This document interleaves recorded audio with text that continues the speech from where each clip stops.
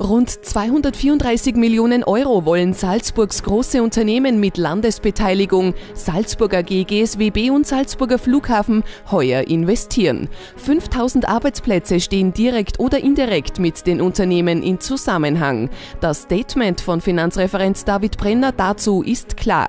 Diese Unternehmen versorgen die Schlagadern des Landes. Eine Privatisierung, um schnell ein paar Millionen für die Budgetsanierung zu kriegen, wird es nicht geben. Der Gemeindebedienstete Rudolf Wessely folgt Otto Miller als Ortsfeuerwehrkommandant der Freiwilligen Feuerwehr der Stadt Hallein und zugleich als Kommandant des Abschnittes 3 Tennengau nach. Die Vielfältigkeit der Salzburger Museumslandschaft zeigte sich kürzlich bei der zweiten Generalversammlung des Landesverbandes Salzburger Museen und Sammlungen im Museum Burg Golling. Der 2009 gegründete Landesverband zählt derzeit 63 Mitgliedsmuseen und 38 Einzelmitglieder.